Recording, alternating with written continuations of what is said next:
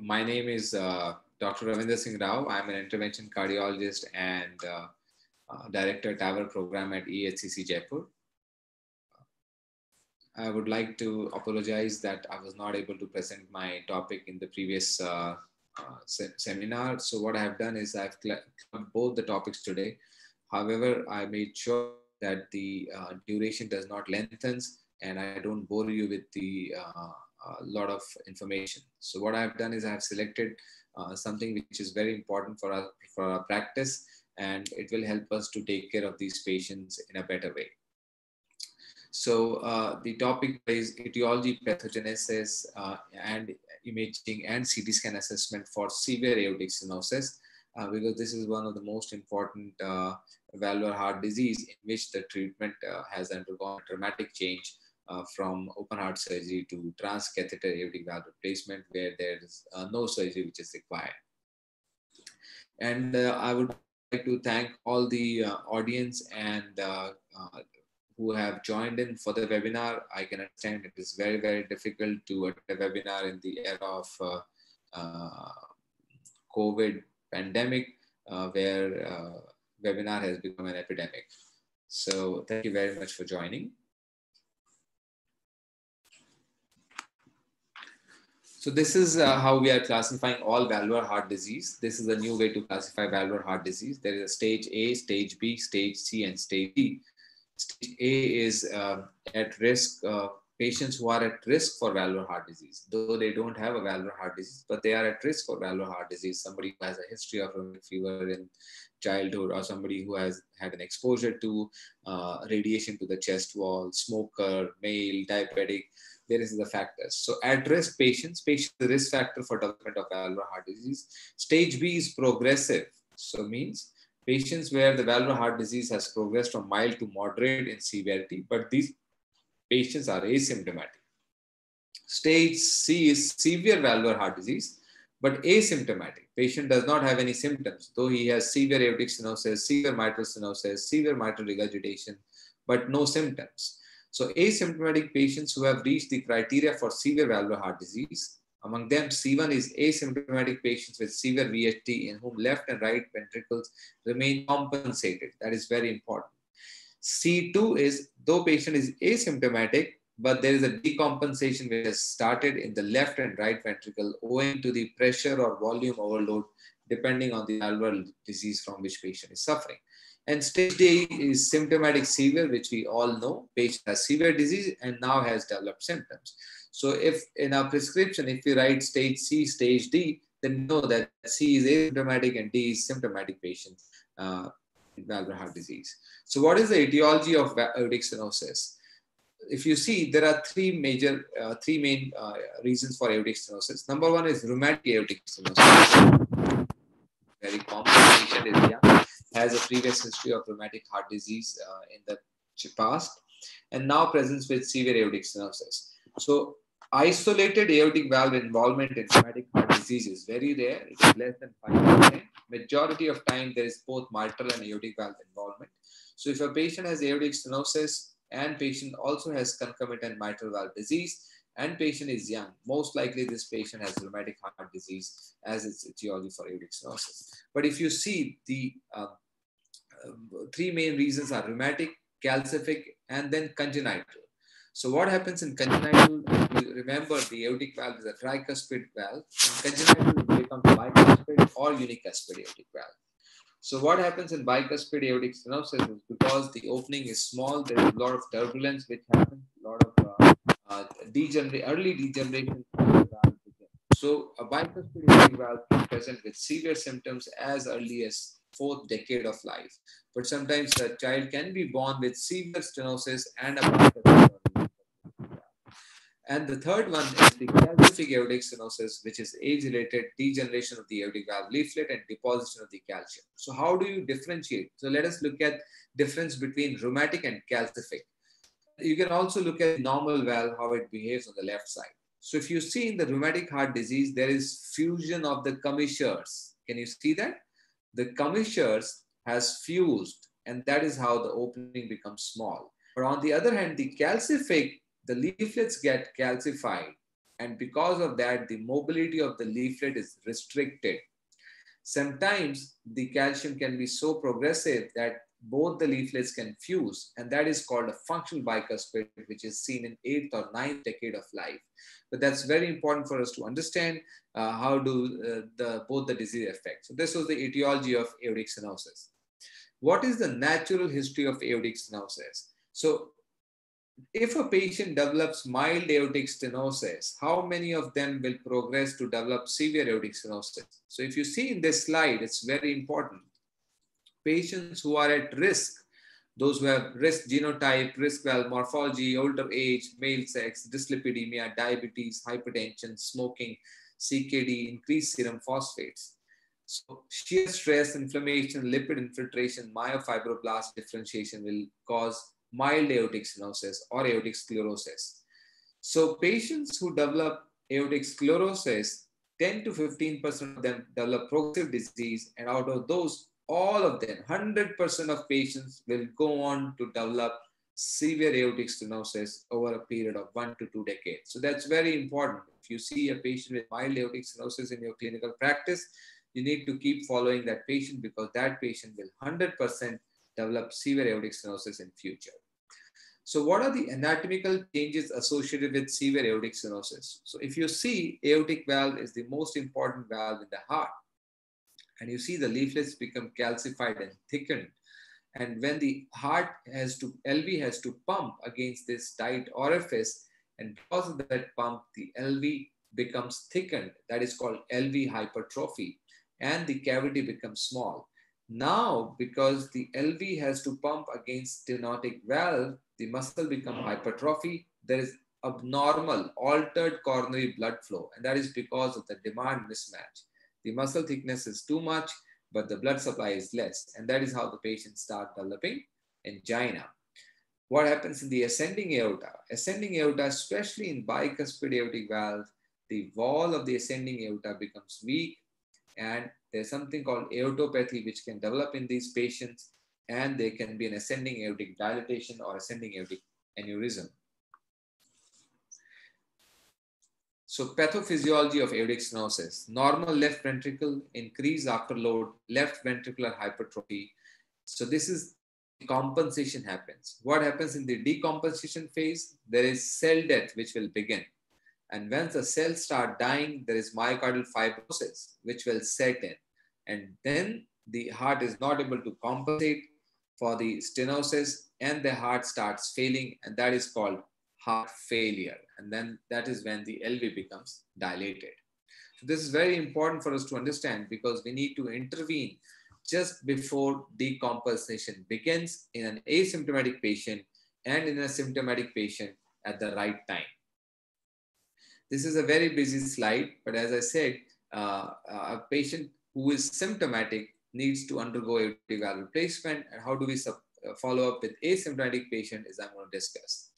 So what are the modalities for aortic stenosis? This is how we would evaluate a patient with uh, aortic stenosis, cardiac catheterization. That is, we go into the heart, cross the aortic valve, measure the pressure in the left ventricle, measure the pressure in the aorta, and then we get gradients. And that is called instantaneous pressure measurements, mean aortic gradient, peak gradient, peak to peak gradient. And then we can also measure the cardiac output. Doppler, what happens with Doppler echocardiography? on echo, which is most common test which you would be seeing in your clinical practice, we get an instantaneous velocity, peak velocity, and peak and mean gradients. MRI is, uh, is coming up. I'm not going to discuss about cardiac MRI for uh, aortic stenosis.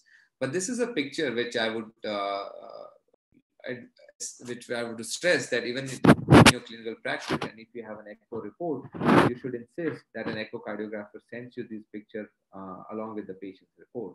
Because by looking at the picture, you can make sure whether this is uh, correctly done, there is a severe gradient or low gradient. So if you see, these are the important chambers on parasternal long axis. You see left ventricle aorta, aortic valve, left atrium. Then you have again calcified aortic valve. Then you have left ventricle, the aortic valve opens, left atrium, and then there's a turbulent flow in the ascending aorta.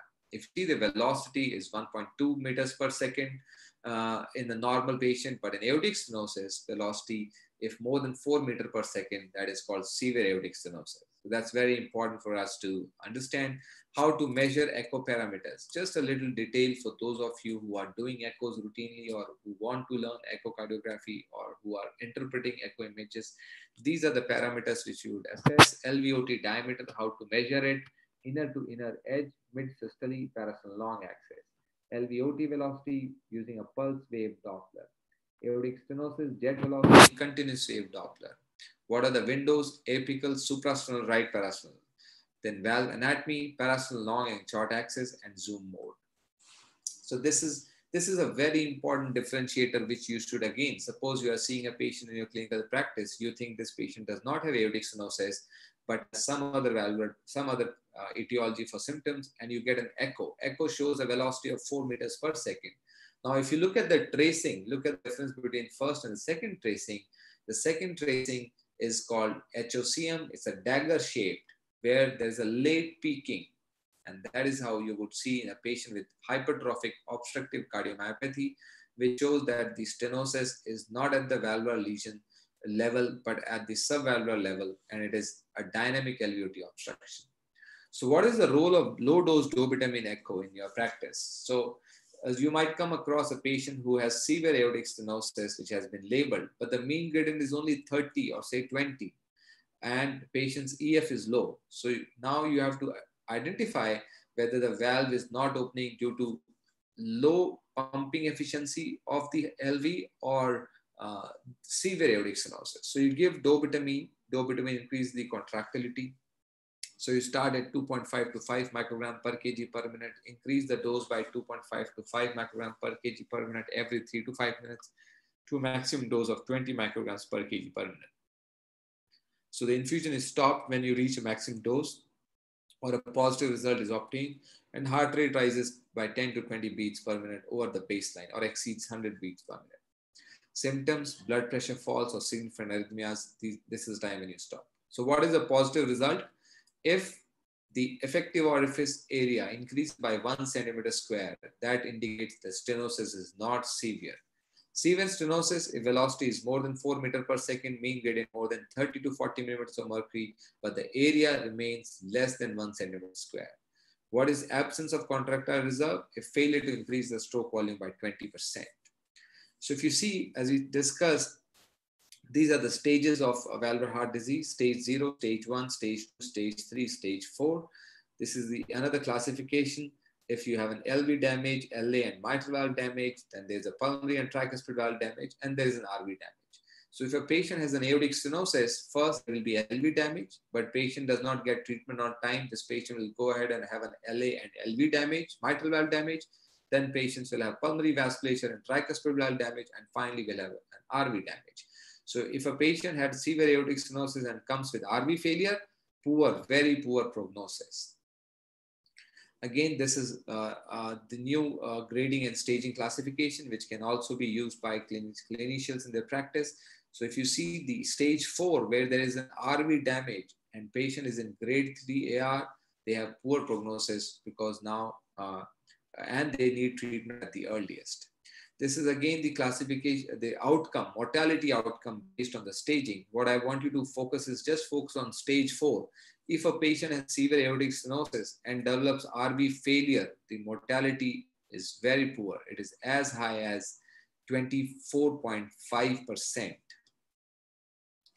So what is management of severe AS? Patient has symptoms, yes. No other comorbidities, then patient can undergo a transcatheter aortic valve replacement if patient is moderate to high risk uh, patient.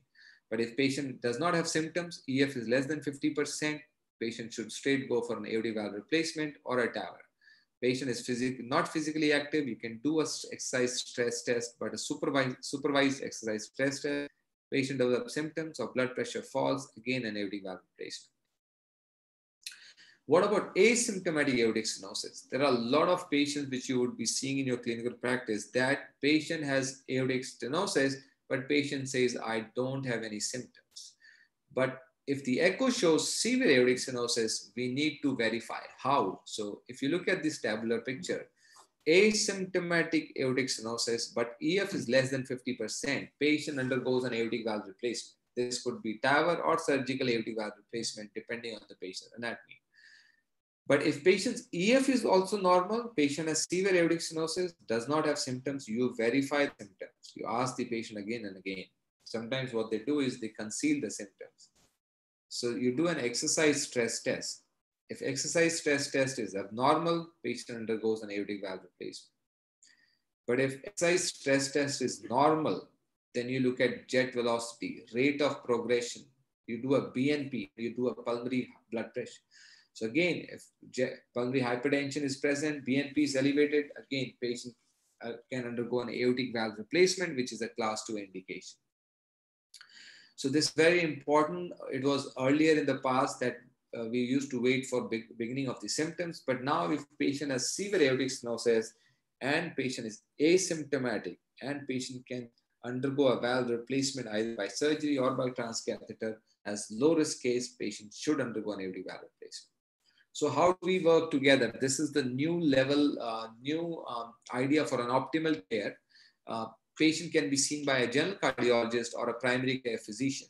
And if patient thinks that if the primary care physician diagnoses the patient with aortic stenosis, and now primary care physician has to evaluate whether patient has symptoms or not. If the primary care physician feels that patient does not have symptoms, then he can follow up the patient uh, his own OPD and kind of uh, take care of the uh, other comorbidities like hypertension, diabetes, and CAD because per se there is no treat medical management for aortic stenosis.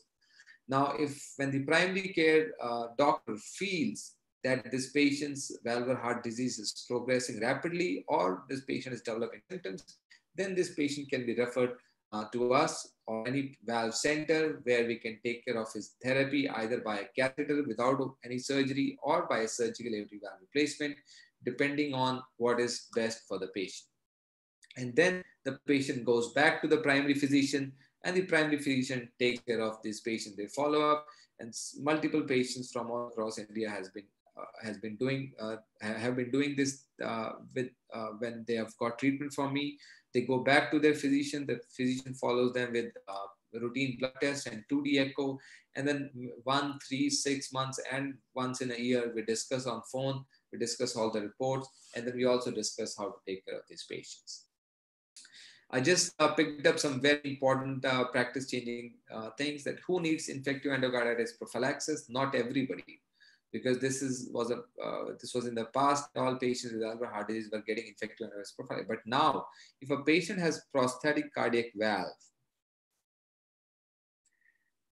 or homograft has been implanted, patient needs an infective endocarditis prophylaxis. Or prosthetic material used for cardiac valve repair, such as an annuloplasty ring and cord patient previous history of infective endocarditis, unpaired cyanotic congenital heart disease, or repaired congenital heart disease with residual shunt, or a cardiac transplant patient with valvular regurgitation due to abnormal valve.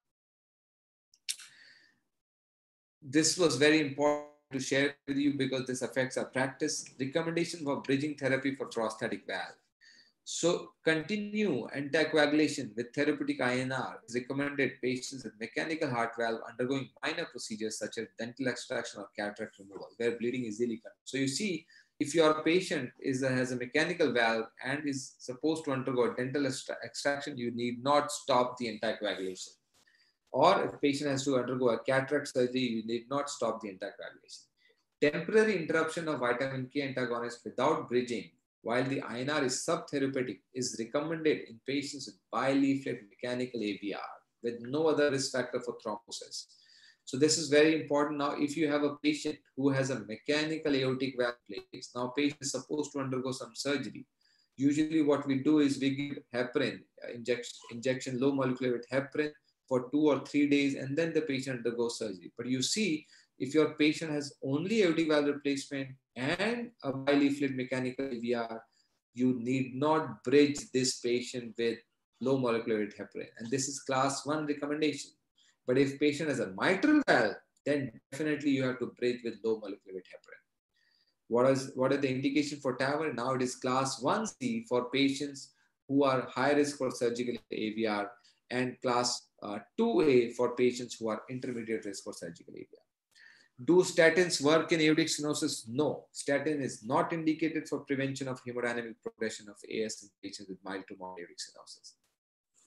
How do you follow these patients in your clinical practice with echocardiogram? So if you see, if patient is in stage C, what is stage C? Means severe aortic stenosis. Severe aortic stenosis, but no symptoms. You follow them with echo with every year mild to moderate, mild aortic stenosis, echo every three to five years. Moderate aortic stenosis, echo every one to two years. What does that mean? That we need not get every echo every two months, three months. No. If a patient has mild AS, three to five years. Moderate AS, one to two years. Severe AS, every year. So now let us look at the CT scan analysis. So this is very important. How do we decide that what size of valve will be put inside a patient when we are evaluating a patient for transcatheter aortic valve replacement. Remember, when a surgeon does an aortic valve replacement, he would cut open the chest, cut the aorta, remove the leaflets, and put the new valve inside the old valve. But we don't open the chest. We would go from the femoral artery, put the new valve inside the old valve. So how is the valve size? And the most important thing is the CT angiography. So I'm going to discuss a few important slides about CT angiography. On the echo, what happens is that the measurement is a two-dimensional measurement and we do not get the full impression. So if you see the echo, you get one measurement, but annulus is actually an oval shaped three-dimensional structure. So anything which is measured by echo is not useful. Multi-slice CT scan is the most important parameter investigating tool to assess the annulus size. So if you see this picture, this shows the residual leakage after doing TAVR is maximum if the valve was sized based on the echo and minimum if the valve is sized based by the perimeter on CT scan. So these are the things which we look on the CT scan. We look at the annulus, sinotubular junction, ascending aorta, left ventricle, left atrium, and the membranous septum. So another important question or thing which comes in the uh, physician's mind is what will happen to the coronaries? So if you see in this picture, the coronaries are on one side of the valve frame and they easily fill during the diastolic phase. They don't get uh, occluded by the TAVR leaflets. So this is again a CT scan picture in which we are able to classify whether a patient is bicuspid or tricuspid, has a fused FA or not, and what is the amount of calcium.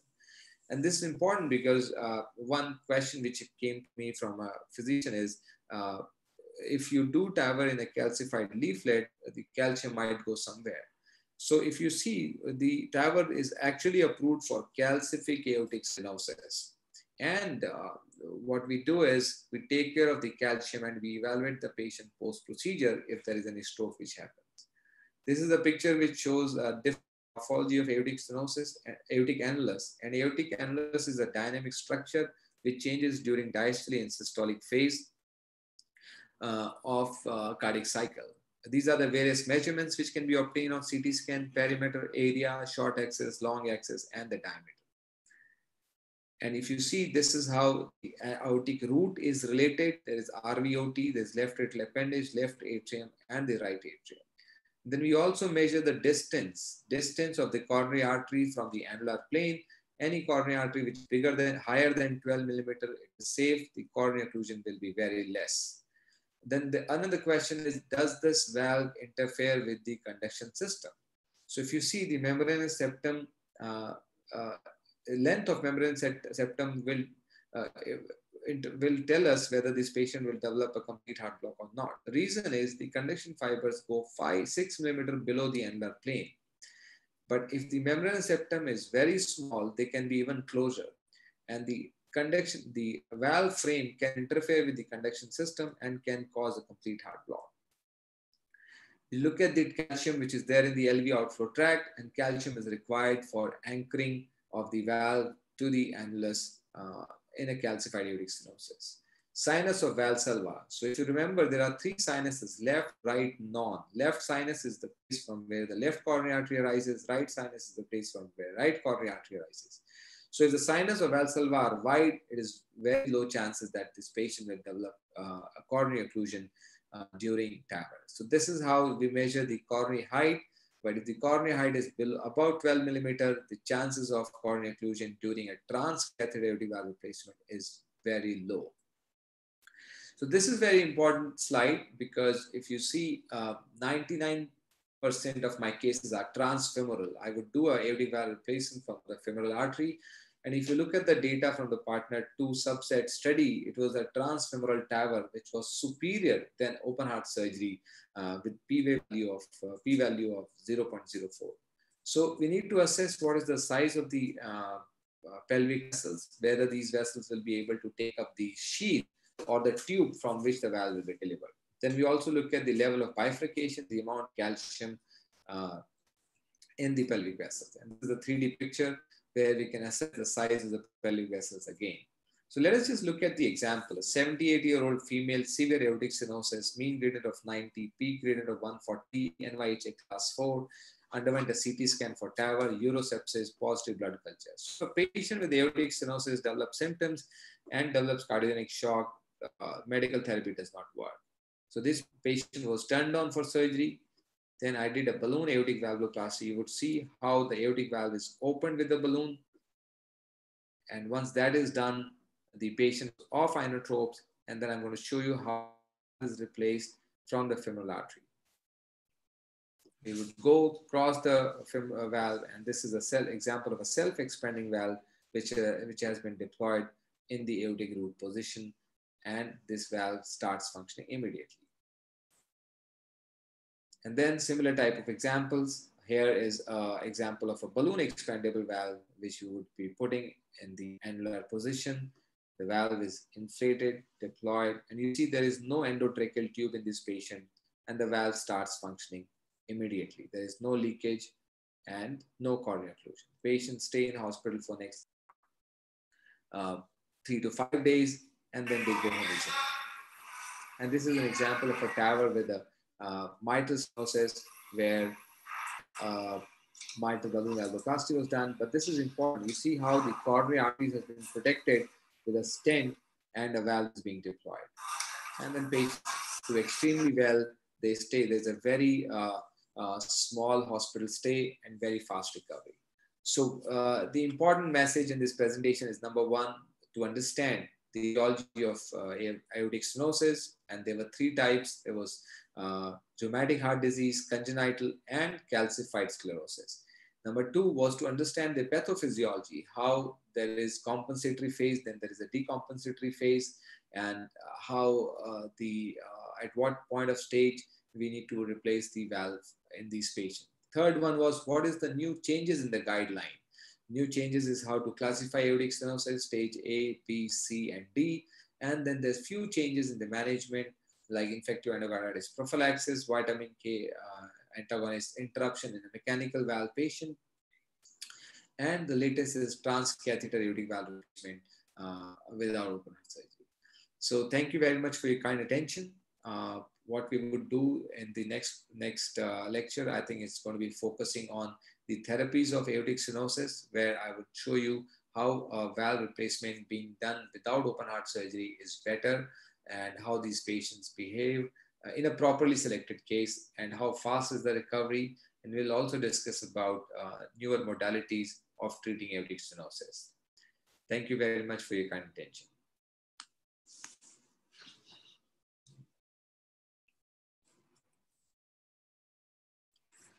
So uh, if there is any question, you post uh, on the link or you can also email us. And uh, uh, we would also plan a certification course in the end about on valvular heart disease and focused on aortic stenosis. And um, so there, there is a question, I think there is a question, transcarotid subclavian transcaval access in patient with stenosis. So that's a very important question. What are the other alternative approaches for a patient uh, who has severe aortic stenosis, but patient also develops uh, uh, has uh, calcification or stenosis of femoral artery. So the all other alternative approach is subclavian artery, carotid artery, or a transcaval. There is we go from IVC to the aorta, and from aorta we go ahead and deploy the valve. But if you look at the entire literature, it is the transfemoral TAVI which is superior then open heart surgery. So what I do if my patient has some stenosis in the pelvic vessels, I would do a balloon angioplasty or treat the stenosis in the pelvic vessels and then try do the TAVI from the femoral vessels. So it serves two purposes. Number one, uh, it uh, uh, treats aortic stenosis and definitely it treats the peripheral artery disease and patients uh, do not have intermittent claudication in these cases.